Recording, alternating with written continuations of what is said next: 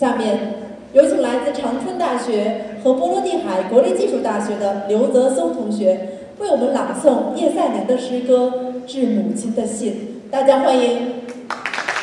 Освоение Сергея Есенина письмо матери, студент Чанчинского университета и Балтийского государственного технического университета Люди Сум. Поприветствуем!